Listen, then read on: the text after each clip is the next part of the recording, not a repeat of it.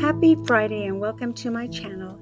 This week I only have five cigar boxes, not seven like I thought I would have, but I hope you like these as altered cigar boxes and for my giveaway at the end of September. So stay tuned for more details. Thank you so much. I love the Zia symbol. The history of the Zia symbol, which is the New Mexico state flag, originated with the Indians of the Zia Pueblo in ancient times.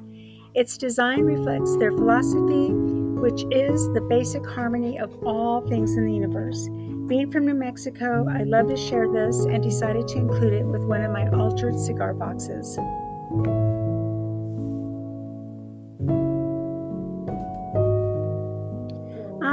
Found a group of 1970s crocheting and craft books at a yard sale and I had to buy them.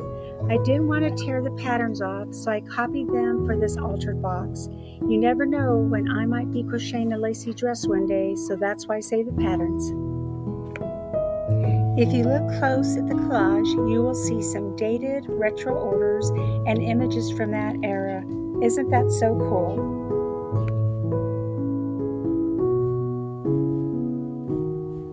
With Halloween around the corner, I had to alter one of the cigar boxes.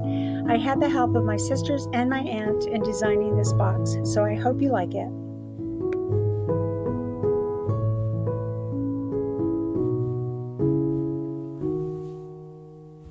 This was a fun cigar box to alter. The scrapbook paper I used is very pretty and has lots of flowers.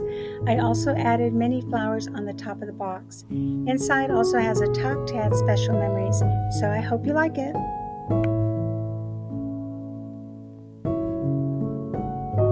Okay, this is the last cigar box that I altered. Since Christmas is almost here, I thought it would be fitting to make a Christmas box. Both of my sisters helped me with this design, so I hope you like it.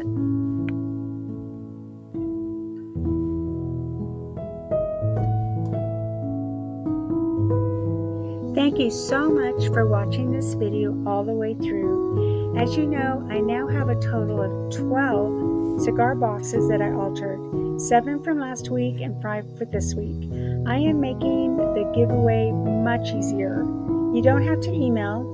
All you have to do is like this video or the one from last Friday and in the comment section tell me which is your favorite cigar box. Once you do that, then all you have to do is wait. And then on September 30th, I will draw the winner and then I will reach out to you. So thank you again for participating and your support.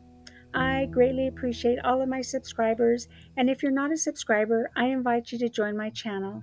So thank you again and again and have a happy Friday.